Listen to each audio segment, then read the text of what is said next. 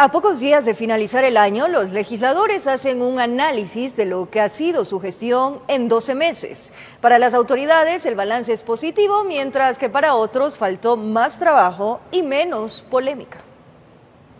Durante 2019, el Pleno de la Asamblea Nacional se reunió en 122 ocasiones y aprobó 19 leyes, de las cuales solo 6 están publicadas en el registro oficial. César Litardo, el presidente de la legislatura desde mayo pasado, califica como positiva la gestión de este año no solamente hay que ver la cantidad de leyes, sino la calidad. Es decir, haber aprobado reformas integrales al Código Orgánico Integral Penal, haber aprobado reformas integrales al Código de la Democracia y algunas leyes más, como la ley de simplicidad tributaria, etcétera, demuestran de que la Asamblea Nacional, cuando trabaja en consenso, cuando trabaja en acuerdos, puede gestionar y hacer leyes para la gente.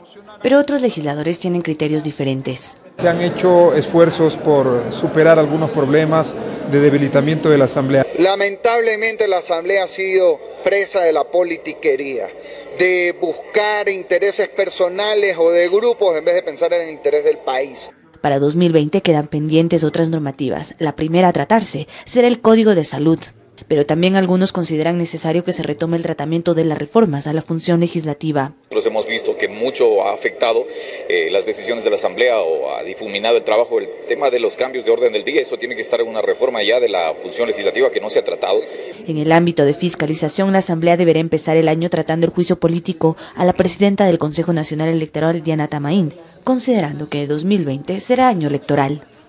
Nosotros tenemos mucho que hacer en legislación en favor del país y ojalá que el 2020 nos encuentre con esa predisposición de trabajar en legislación y que el año electoral no nos perjudique mirando los intereses a veces individuales.